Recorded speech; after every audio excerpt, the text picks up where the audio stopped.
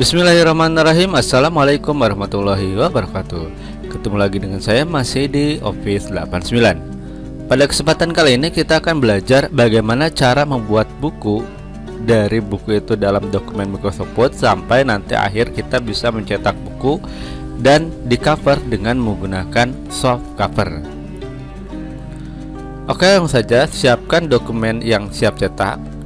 Kemudian buka dengan Microsoft Word Nah, di sini saya menggunakan Microsoft Word 2013. Bagi Anda yang masih menggunakan mm, Office 2007 ke bawah, mungkin tampilannya sedikit berbeda, tapi intinya adalah sama.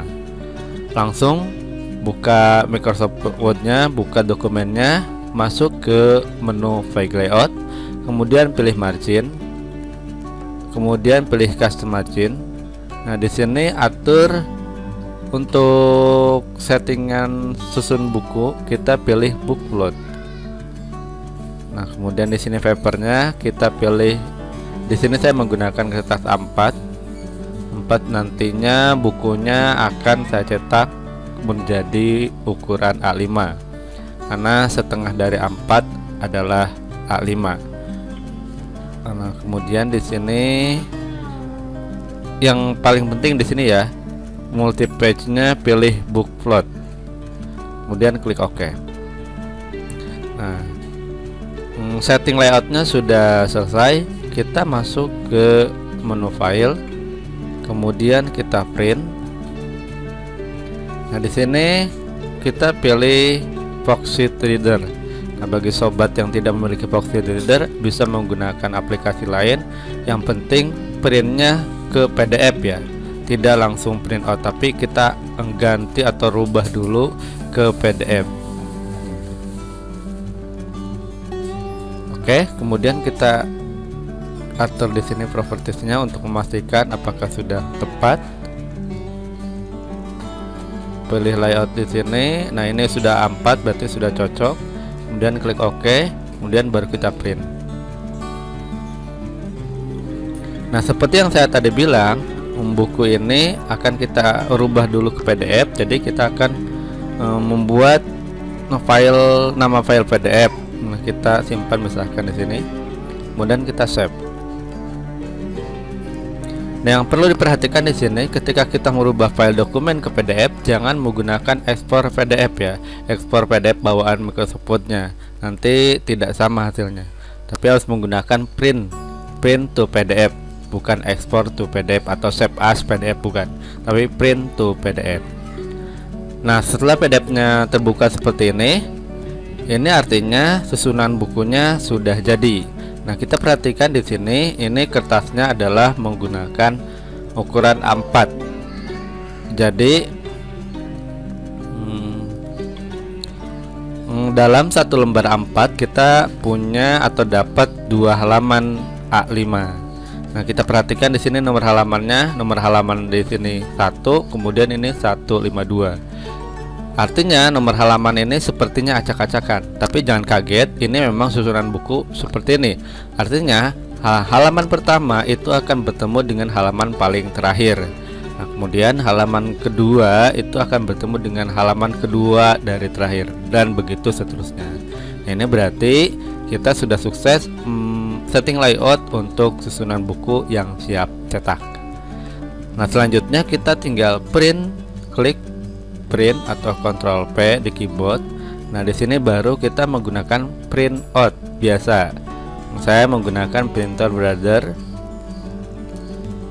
Nah, di sini pengaturannya di property. Nah, di sini saya menggunakan tadi A4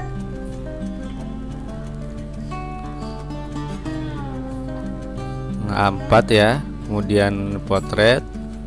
Nah karena printer brother ini sudah bisa duplek bolak-balik bolak-balik otomatis jadi saya pilih bukletnya dua sisi otomatis. Dua sisi otomatis dan pengaturannya ini tepi pendek atas. Nah kemudian setelah oke okay, kita setelah oke okay, kita klik oke. Okay. nah tampilannya seperti ini. Nah, di sini pilih all page saja kemudian kita klik OK untuk mulai mencetak menggunakan printer brother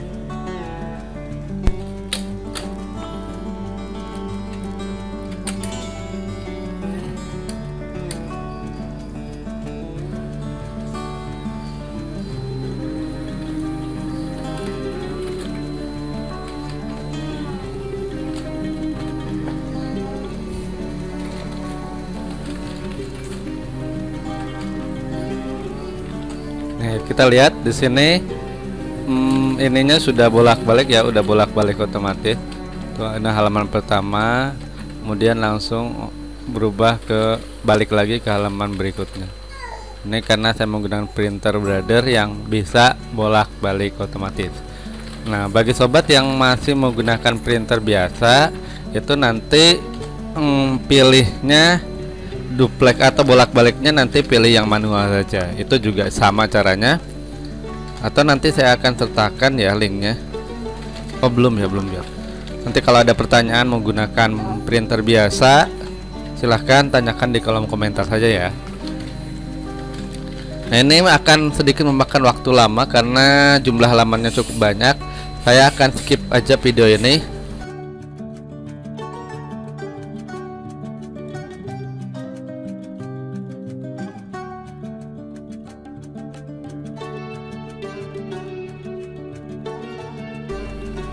Nah ini udah selesai. Nah hasilnya seperti ini. Nah selanjutnya ini tinggal kita nanti kita potong dua. Namun sebelum potong dua Tengahnya tadi Kita siapkan dulu covernya agar nanti bisa sambil jalan ya.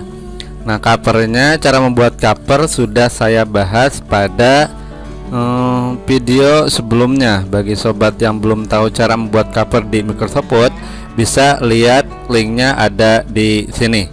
Bisa lihat di situ. Untuk covernya saya biasanya mencetak ke printer digital yang ukuran A3 oke kita lanjut ke step berikutnya. Yaitu potong-potong buku potong-potong buku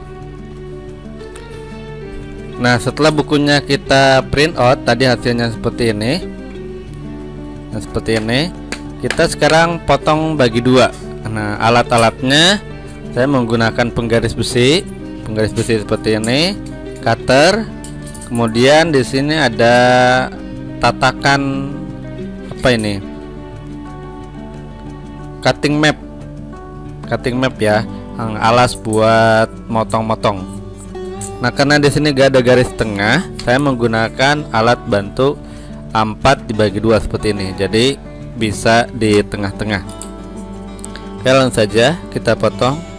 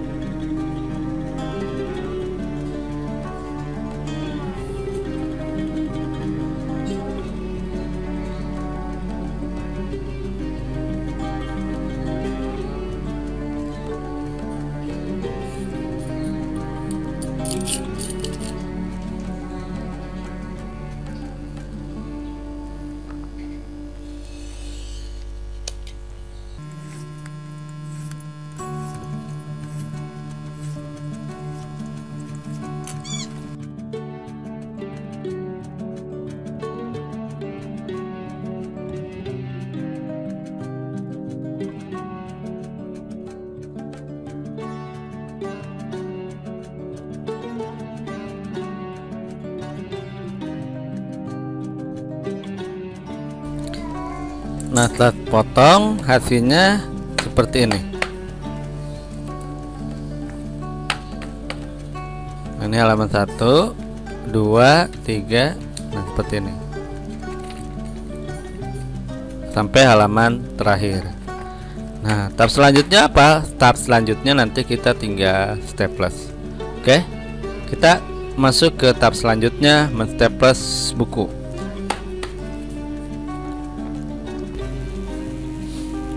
Oke, sekarang kita masuk ke tahap berikutnya yaitu tahap menteples buku. Buku yang sudah kita potong tadi. Ini seperti ini.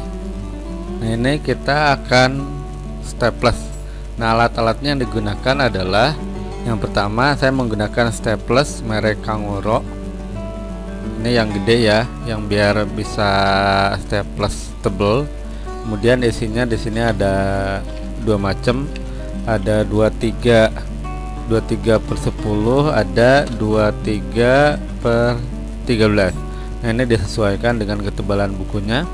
Semakin besar angka belakangnya berarti semakin tinggi.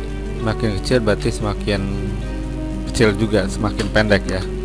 Nah kemudian selain staples dan isinya kita juga butuh kertas. Kertas seperti ini ini gunanya apa? Ini gunanya agar si staples itu hmm, tidak langsung menempel ke kertas buku yang tipis.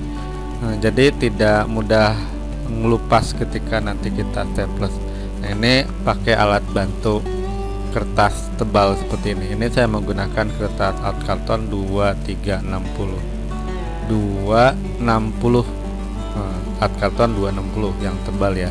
Ini adalah kertas sisaan dari hmm, cover cover yang dari buku ini. Nah ini sisaannya saya, saya manfaatkan untuk mengganjel si buku. Nah kemudian kita juga butuh palu. Nah di sini palunya saya gede sekali karena gak punya yang kecil jadi manfaatkan saja yang ada. Ini untuk apa? Untuk memukul nanti staples yang sudah di staples biar tidak melengkung ya. Oke langsung saja. Kita ambil satu. Kita ambil satu. Nah, posisi yang di staples adalah bagian kiri buku ya. Kalau buku latin itu bagian kiri buku berarti yang sini jangan sampai kuteker. Jadi yang sebelah sini yang di staples kita ratakan dulu. Ada yang lupa satu lagi adalah hmm, jepitan ya jepitan kertas.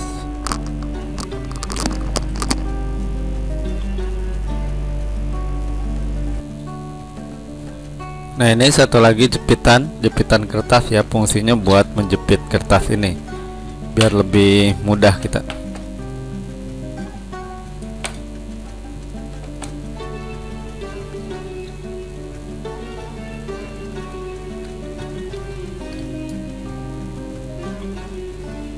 kemudian kita ambil taruh di bagian bawah satu bagian atasnya satu. Jadi satu buku kita perlu dua kertas pengganjal yang tebal ini ya. Kemudian kita taruh sini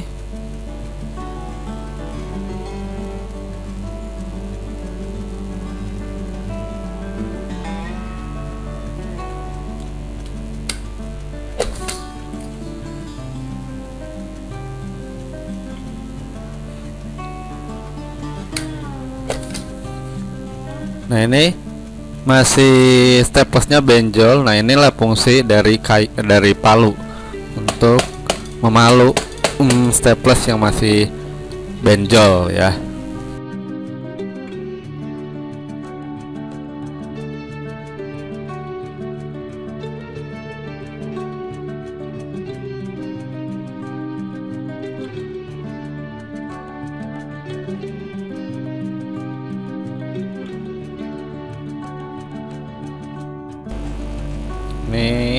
hasilnya nanti kuat ya karena hmm, staplesnya tertahan oleh kertas yang tebal ini. Nah setelah staplesnya sudah selesai sekarang kita lang lanjut ke tahap berikutnya yaitu hmm, mengelem punggung bukunya. Jadi punggung yang buku yang ini kita lem dulu biar nanti lebih kuat. Di sini saya lemnya menggunakan lem box box seperti ini yang sudah saya sedikit campur air hingga ada agak sedikit encer. Kemudian saya menggunakan kuas kuas buat emas-emasnya ya oke langsung saja kita mulai mengelem. Kita tumpukan dulu. Kita cari dasar alas yang rata dan kuat ya. Ini kita tumpukan seperti ini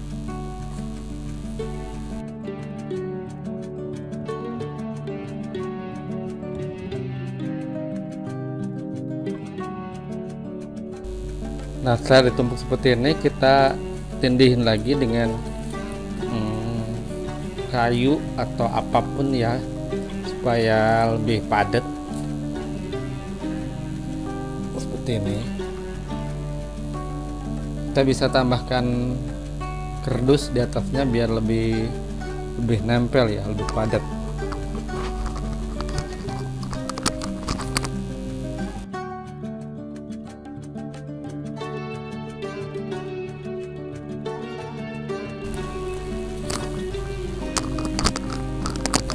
Nah setelah kira-kira rata dan kuat baru kita mulai hmm, menglem lemnya langsung aja. Langsung satu ya jangan eh langsung. Langsung semua jangan satu-satu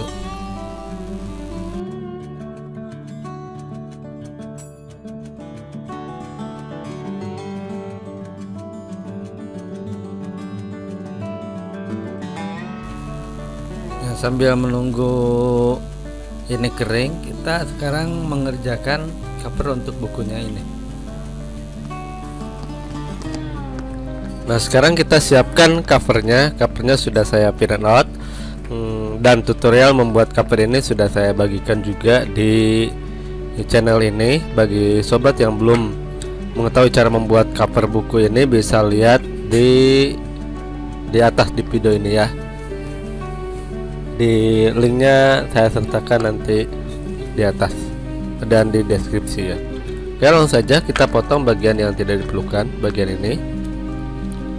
Kita potong pakai cutter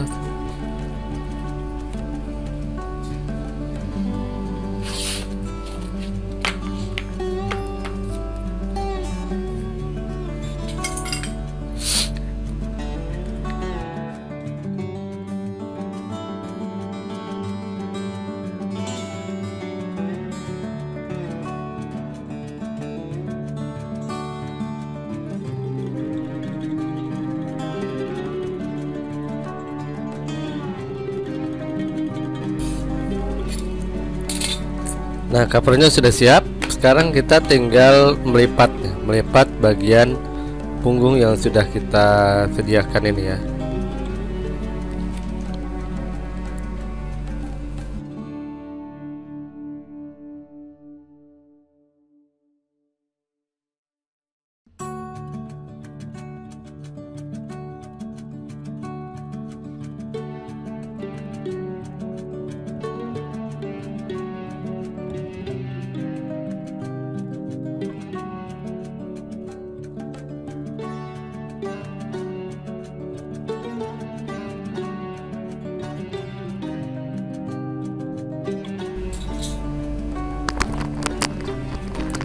Nah setelah semuanya dilipat kita masuk ke tahap berikutnya yaitu menyiapkan kembali isi dari buku ini.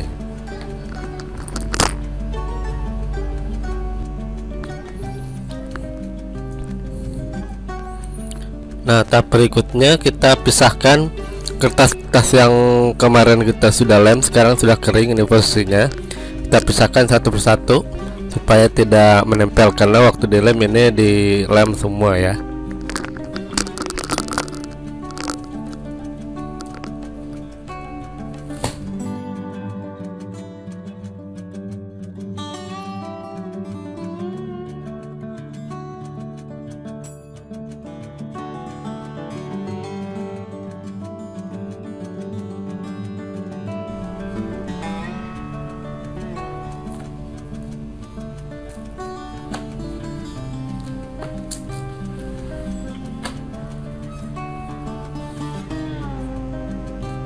Nah tahap berikutnya kita tinggal mengelemnya ya.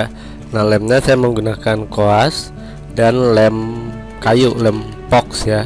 Lem pox ini bisa kita campur sedikit air panas agar tidak terlalu kental ya. Oke langsung saja kita mulai mengelemnya. Seperti ini kita celupkan. Dalam bagian punggungnya kita lem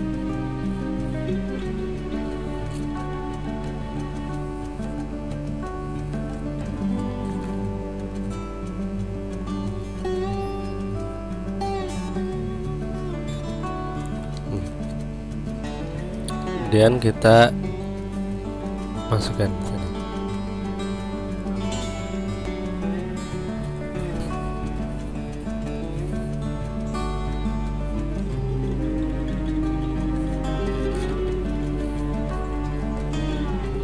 Seperti ini. Ya sudah kita tumpuk di sini